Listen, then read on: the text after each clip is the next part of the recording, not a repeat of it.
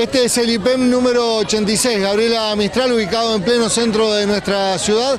Aquí eh, los chicos, han, eh, los alumnos de esta escuela secundaria han decidido eh, tomar la toma de la escuela, por lo cual desde ayer no tienen clases. Los reclamos son reclamos varios, fundamentalmente todos aquellos que tienen que ver con la falta de infraestructura. Bueno, buen día chicos, han tomado esta decisión de tomar la escuela.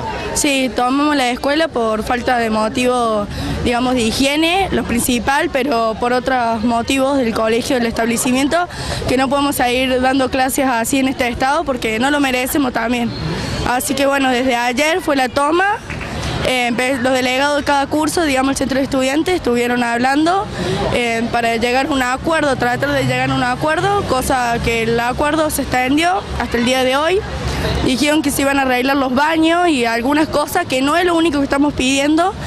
Eh, entonces, bueno, ahora los comunicamos que, bueno, vamos a esperar que venga una delegada más, la dirigente, para que vaya al baño y se verifique si están todas las cosas correctas. Está bien, ¿qué otros, cuáles son otros reclamos, digo, además de los baños que no están en condición?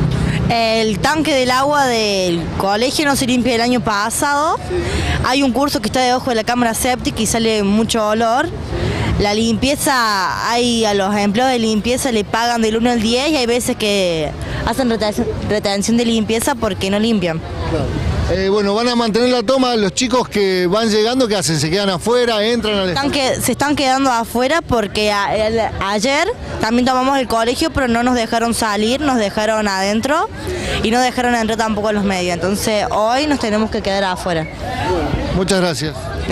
Bueno, la palabra de algunos de los estudiantes que están encabezando este reclamo aquí en la Escuela Gabriela Mistral, en pleno centro de nuestra ciudad. La escuela está tomada sin clases por ahora, están esperando una respuesta por parte de las autoridades del Ministerio de Educación, concretamente del área infraestructura, que les, solucionen los problemas, eh, los inconvenientes que han tenido en los últimos tiempos, fundamentalmente con el tema de los baños aquí en esta escuela del centro de la ciudad.